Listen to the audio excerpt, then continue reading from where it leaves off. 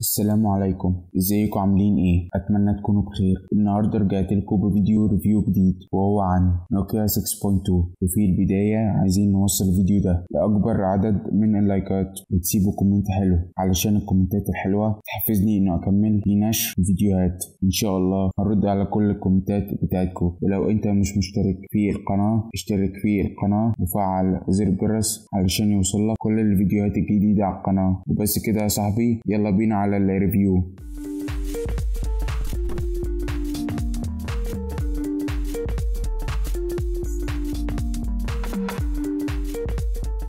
ورجعت لكم تاني. ويلا نبدأ بال review. عايزين نعرف إيه هي مواصفات التليفون. خامات التليفون بتيجي بطبقة من زجاج. وزن التليفون 180 جرام. بيدعم الراديو FM وال NFC. بيدعم شريحتين اتصال من النوع nano SIM. بيدعم شبكات اتصال 2G 3G 4G شاشة notch. على هيئة ال water drop بمساحة 6.3 إنش. جودة ال FHD plus بدقة 2280 في 1080 بكسل. تدعم أبعاد العرض 19 لتسعة مع طبقة حماية على الشاشة. من النوع Corning Gorilla Glass الجيل التالت وبتدعم الشاشة لوضع ال night mode عشان تحافظ على عينيك من الأشعة الزرقاء بتاعة التليفون. التليفون بيجي بثلاث إصدارات. الإصدار الأول بيجي بذاكرة صلبة بسعة 32 جيجا بايت مع ذاكرة عشوائية بسعة 3 جيجا RAM. الإصدار الثاني بيجي بذاكرة صلبة بسعة 64 جيجا بايت مع ذاكرة عشوائية بسعة 4 جيجا RAM. الإصدار الثالث بيجي بذاكرة صلبة بسعة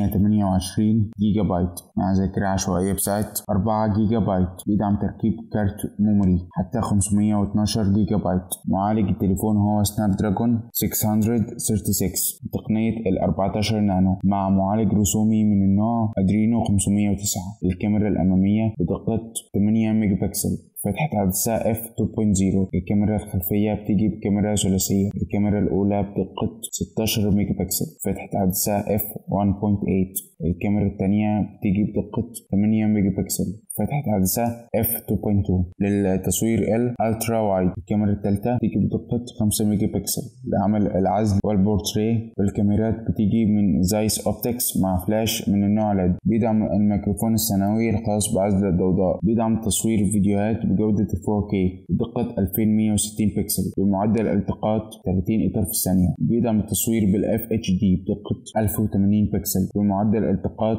30 إطار في الثانية. وبيدعم التصوير بجودة ال HD بدقة 720 بكسل بمعدل التقاط 30 إطار في الثانية. منفذ ال USB بيجي من النوع الأحدث وهو ال Type C مع دعمه لخاصية ال OTG منفذ التلاتة ونص الخاص بسماعات الأذن بيجي في أعلى التليفون. بيدعم مستشعر بصمة وبتيجي في ظهر التليفون. البطارية بسعة 3500 ملي أمبير بيتوفر بألوان الأسود والفضي. بيجي بنظام أندرويد 9.0 Pie بالأندرويد الخام الأندرويد 1 نيجي على مميزات التليفون. منفذ USB من النوع Type C أفضل من منفذ micro USB. أندرويد خام هيضمن ليك سلاسة في الاستخدام مع حماية أفضل وتحديثات أسرع. بيدعم التصوير بالكاميرا الأمامية والخلفية في وقت واحد.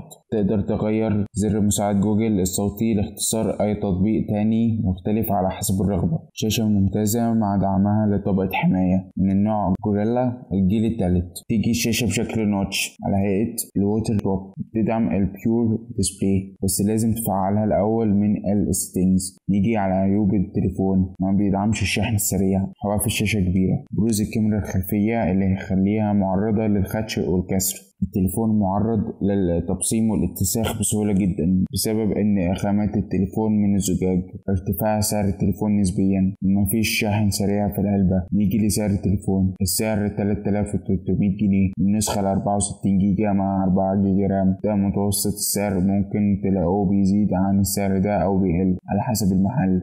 كده يا صاحبي أبقى وصلت لنهاية الفيديو. ومتنساش تعمل like للفيديو وتشترك في القناة وتفعل زر الجرس علشان يوصلك كل الفيديوهات الجديدة. على القناة تابعوني على صفحاتي على فيسبوك انستجرام تويتر تيك توك سايب لكم اللينكات في ال description. وتشيروا الفيديو علشان غيركم يستفيد. السلام عليكم.